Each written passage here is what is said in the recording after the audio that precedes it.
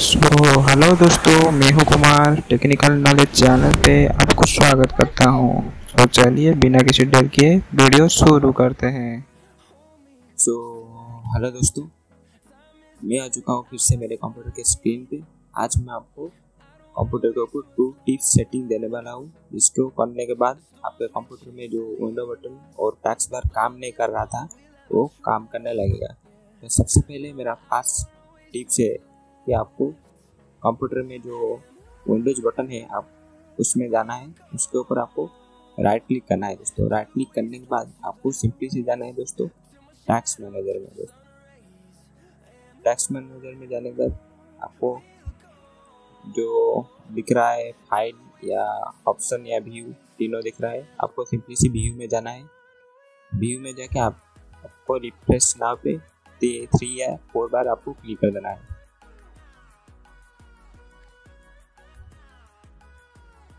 आपको व्यू में जाके थ्री या फोर बार सिंपली सी क्लिक कर देना है दोस्तों।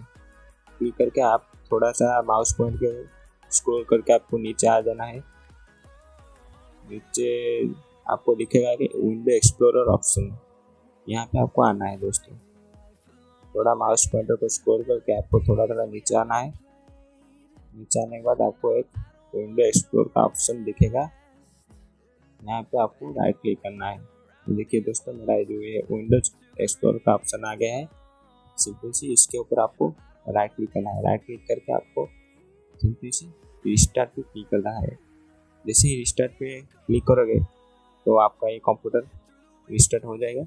रिस्टार्ट करने के बाद देखिए, आपका विंडोज़ बटन या टैक्स बार काम कर रहा है। नहीं, यदि काम नहीं कर रहा है तो मेरा दूसरे से टिप्स है कि आप कंप्यूटर को रीसेट कर दीजिए दोस्तों। रीसेट कैसे करना है? इसलिए मैं एक वीडियो बना चुका हूँ। इसका लिंक मैं नीचे वीडियो के डिस्क्रिप्शन में दे दिया हूँ।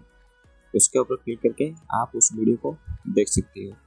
तो दोस्तों, मैं आपको 100 परसेंट गारंटी देता हूँ कि आप इसी को रिसेट करने के बाद आपका जो विंडो बटन है और टास्क बार बटन है, वो ज़रूर काम करने लगेगा।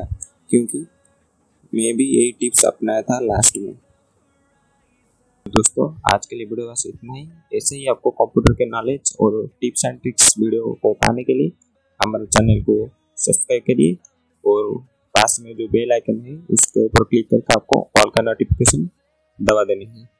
सो so, आज के लिए वीडियो बस इतना ही। तुम्हारे भाई को ऐसे ही सपोर्ट करिए और तब तक के लिए bye bye and take care दोस्तों।